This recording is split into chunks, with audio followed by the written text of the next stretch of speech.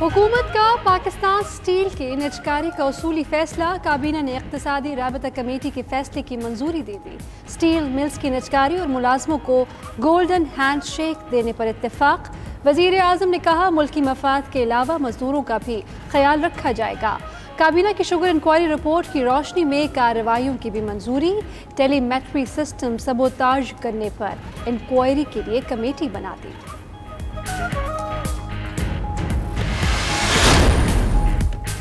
मुल्क में पेट्रोलियम मसनूआत का बहरान, शिकंजे में लाए जाएँगे जिम्मेदारान। विफाकी काबीना के जखीरा अंदोजी में मुलवस ऑयल कंपनीज़ के खिलाफ कार्रवाई का हुक्म। पेट्रोलियम डिवीज़न को ऑयल कंपनीज़ के स्टोर्स का पता लगाने के लिए छापा मार टीमें बनाने की हिदायत। जखीरा अंदोजी करने वालों के खिलाफ कानूनी कार्रवाई के अलावा गिरफ्तारियाँ भी होंगी। पेट्रोलियम स्टॉक न होने पर जुर्माने और लाइसेंस मनसूख किए जाएँगे।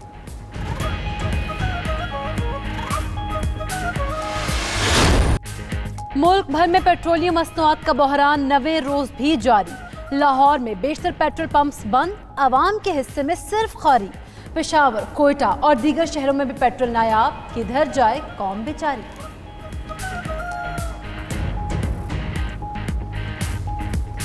पेट्रोल मिलती भी है लेकिन वो हज़ार रुपए पे मिलते हैं। और हुकूमत को चाहिए कि इसको बैन करे। बिल्कुल बंद कर दें।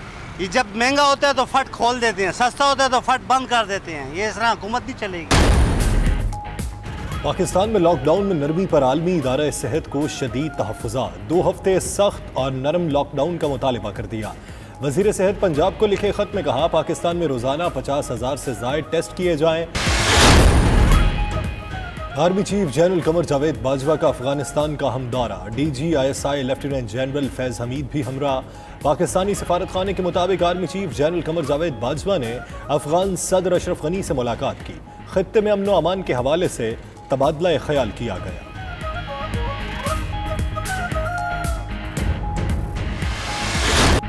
नैब के विकेट की दोनों जानब शॉट। हुकूमती अहदेदारों के तहकीकात। वज़ीर अजम के मोबिन खसूसी बरए सेहत, डॉक्टर ज़फ़र मिर्ज़ा और सबक वज़ीर सेहत आमिर महमूद के इंक्वायरी की मंजूरी। चेयरमैन नैब ने वजारत पेट्रोलियम, सिविल एविएशन अथॉरिटी और सी डी ए के अफसरान के भी इंक्वायरीज की मंजूरी दे दी।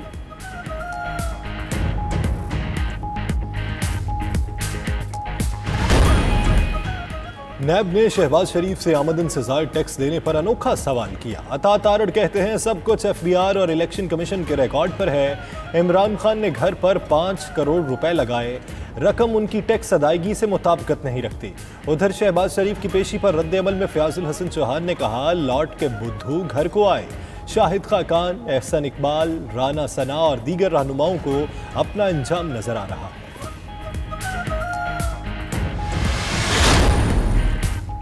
पंजाब में दरस कुतुब की इशात मुतहदा बोर्ड की मंजूरी से मशहूर। पंजाब असम्बली में curriculum and text book board तरमीमी bill मुतफ़ा मंजूर।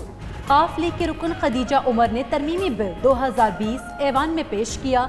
हज़रत मोहम्मद सल्लल्लाहु वसल्लम सहाबा कराम और अहले बैत की शान में रोकने के लिए बिल की मंजूरी। स्पीकर चौधरी परवेज इलाही की खसूसी कोशिशों से हुई।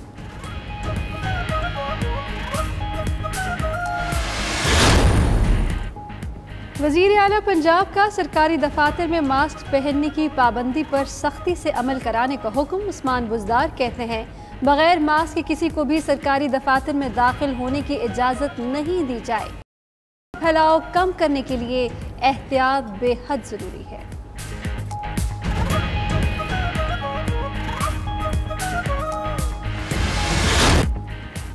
जिसम में ज़िंदगी बनकर दौड़ने वाला खून अब बनेगा शेफा भी।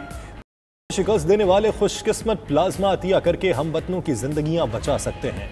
आए और अपना प्लाज्मा अतिया करें। सिफर तीन तीन चार, एक नौ, दो सिफर, दो छः आठ पर व्हाट्सएप मैसेज करें। 92 न्यूज़ प्लाज्मा अतिया करने में आपकी मदद करेगा। उधर मुल्क तारीख की पहली बार 92 न्यूज़ ने किया घर से मुहिम का आगाज़। 92 न्यूज़ की शिकस्त देने वाली टीम अपना प्लाज्मा अतिया करेगी।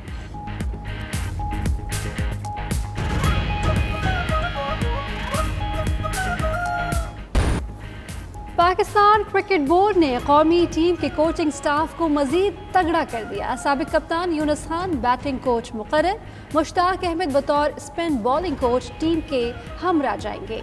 मिसबाउल हक हेड कोच और chief selector Waqar Younis bowling coach के तौर पर खदमात सर अंजाम दे रहे हैं। यूनस खान कहते हैं, मुश्किल दौरे के लिए टीम की कोचिंग का मौका मिलना एजाज़ की बात है।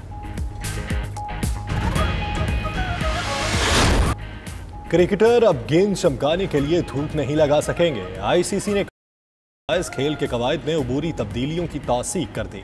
इंटरनेशनल मैच में मकामी एम्पायर की तैनाती की जा सकेगी। आईसीसी एग्जेक्टिव कमेटी ने अनिल कुंबले कमेटी के फैसलों की तौसीक कर दी।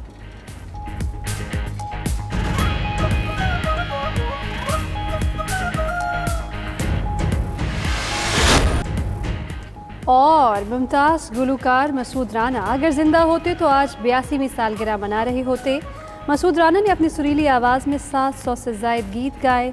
उनके लाजवाल नगमे आज भी मद्दाहों के कानों में रस घोलते हैं।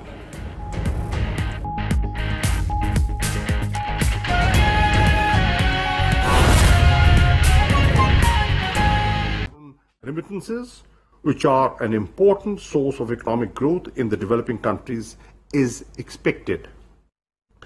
People have lost their livelihoods and poverty is on the rise. Global economy is contracting and a number of productive sectors are on the verge of bankruptcy. Excellencies, our government has been following a compassionate and holistic approach to combat the impacts. On March 24th, Prime Minister Imran Khan uh, announced a relief package of approximately $8 billion. Moreover, a comprehensive Pakistan response and preparedness plan was launched in consultation with all stakeholders to channelize the efforts and resources and address the gaps. However, no state can handle the magnitude of this crisis alone. International cooperation is required more than ever before. Excellencies, it is imperative to revalidate the principle of sharing responsibility and burden uh, and support large refugee hosting countries during these uh, difficult times. Resources for protected refugees situations must not diminish at this hour. Thus far, Pakistan has been financing the health needs of Afghan population in the country through our own resources without any discrimination. UNHCR has only provided limited support to who they consider are refugees by a very strict definition which excludes 1.6 million Afghan refugees. Overall, UNHCR has launched an appeal of uh, 20.6 US million dollars for Afghan refugees in Pakistan uh, amidst. However, that amount is clearly not enough as it only caters towards the needs of 1.4 billion POR card holders registered with UNHCR and does not take into account remaining 1.6 uh, million Afghan nationals in Pakistan. Overall, UNHCR has launched an appeal of uh, 20.6 US million dollars for Afghan refugees in Pakistan uh, amidst. However, that amount is clearly not enough as it only caters towards the needs of 1.4 billion POR card holders registered with UNHCR and does not take into account remaining 1.6 uh, million. Overall, UNHCR has launched an appeal of uh, 20.6 US million dollars for Afghan refugees in Pakistan uh, amidst. However, that amount is clearly not enough as it only caters towards the needs of 1.4 million POR card holders registered with UNHCR and does not take into account remaining 1.6 uh, million Afghan nationals in Pakistan.